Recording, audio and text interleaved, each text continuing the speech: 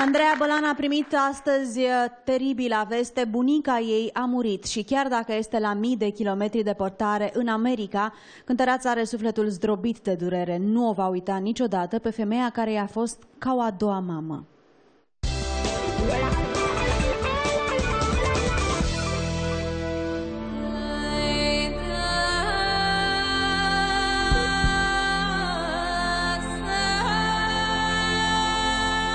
Îmi pare rău că nu le-am oferit bunicilor mele un nepoțel. Ăsta este regretul meu acum cel mai mare. Andreea Bălan este dărâmată de durere. Peste ocean, cântăreața a primit cea mai cruntă veste. Astăzi, la ora patru și jumătate dimineața, bunica paternă a artistei s-a stins din viață.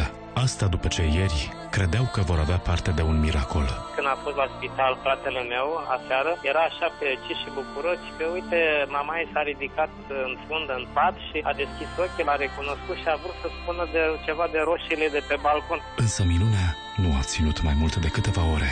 Dimineața la șapte m-a sunat fratele uite că inevitabilul s-a produs. Șocat de vestea cumplită, Sondel Bălan a început pregătirile pentru înmormântare. Când o înmormântați? Duminică. Dărâmată de durere, Andreea și-a găsit probabil alinarea în brațele lui Michael, alături de care este chiar acum la Los Angeles.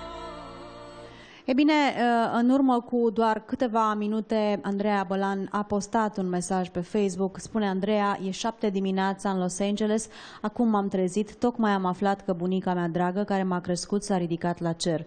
Sunt extrem de supărată și afectată. Postarea de acum două ore cu mine zâmbind fusese programată din țară și, urm și prin urmare am șters-o. Vă pup și vă mulțumesc că sunteți alături de mine.